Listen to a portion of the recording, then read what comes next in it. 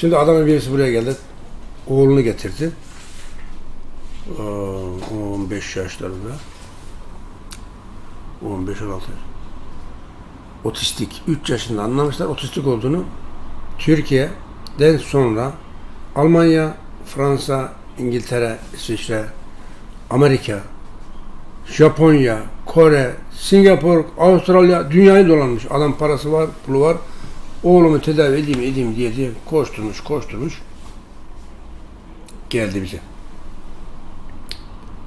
Anlatıyorum anlatıyorum kafaya girmiyor adama. Set kullanacaksın. Koleralla. B seti diyorum. Bu kadar ilaç kullandığı için zehirlenmiştir. Bağırsakta sorun var. Sen bana bir ürün ver diyorsun. Yok set kullanacaksın diyorum. Yok. Sen bana bir ürün ver. Etkisini görürsem set de alırım. Arkadaş dünyaya dolanıyor. Adam Türkiye'ye gelince kafası donuyor. dünyaya dolanıyor. O kadar milyar harcıyor. Hiç sorun yok. Bana gelince pintileşiyor. Sanki ben onun üç kuruşuna muhtacım. Tövbe estağfurullah. Tövbe. Ben sadece Allah'a muhtacım. Başka kimseye muhtaç değilim. Hamdolsun. Benim patronum büyük. Benim patronum büyük diyorum da senin patronun kim diye bir tanesi. Kim olacak? Allah'tan başka patronum yok çok şükür. Şimdi Ormuz Gold. Burada altın var, gümüş var, bor var, çinko var, magnezyum var. Var da var. Altın. Çalkalıyorsun günde üç defa. Çocuk 10 yaşındaysa 10 damla, 5 yaşındaysa ben damla, büyükse bir çay kaşığı. Tamam alın dedim ya Ormuz koltuğu al gel hadi güle güle dedim. Gönderdim vatandaşı. 6 hafta sonra geldi. Dedi ki sen ne yaptın bu çocuğa? Ne yaptın? Ya arkadaş soru sormaktan durmuyor. Durmadan soru soruyor. Bir şeyler öğrenmek istiyor. İyi daha ne istiyorsun dedim. Allah razı olsun da bu kadar etkili miydi bu ürün? Evet. Altın bu. Hem normal altın değil. Amerikalıların üretmiş olduğu gibi kapsülün içine altını böyle soğan zarı gibi inceltmişler, koymuşlar, altın satıyorlar. Yuttun diyelim. Bağırsağa gitti. Bağırsakta çözülür mü altın? şey yani incecik kağıt gibi.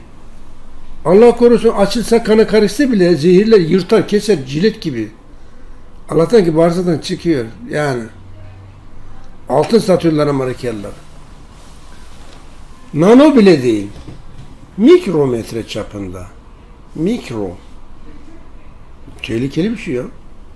Bir gerizekalı da yemekleri altın şey şöyle boşaltıyor işte incecik. Altınlı antrikot pizza yediriyor. Millet acayip kazık at. Ya bu faydası olmaz. Kana karışmaz ki. Kana karışması için nanometre olacak. O yani monoatomik olması lazım. Bu pikometre. Suyun bile ulaşamayacağı noktaya ulaşır. Suyun bile ulaşamayacağı noktaya ulaşır. Atomik boyutta. Monoatomik element denir bu nedenle. 13 senedir sormadığı soruyu 6 haftada sormuş. E daha ne istiyorsun? Öğrenmiyor. Allah razı olsun senden. Teşekkür ediyorum. Başka ne gibi faydasını gördüm? Bayanlara hiç ilgi duymuyordu. Şimdi bayanlara kompliment yapıyor. Daha ne istiyorsun? Hem kafa çalışıyor hem de hormonları çalışıyor. Çalışmaya başlamış. Şık şık şık. Daha ne istiyorsun? Allah razı olsun. Ha iyi okey. Bir ürünle bitirdik. Ama ha benim çocuğumda da bir ürün olsun.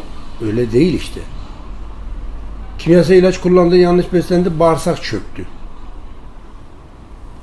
Kolerella vücuttaki her türlü zehir absorbe eder.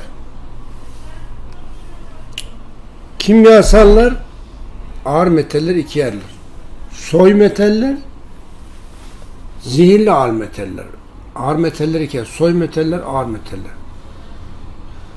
Soy metaller altın, platin, paladyum, rodyum, hafif metallerden gümüş. Bunları kullanmasını bilirsen çok faydalı.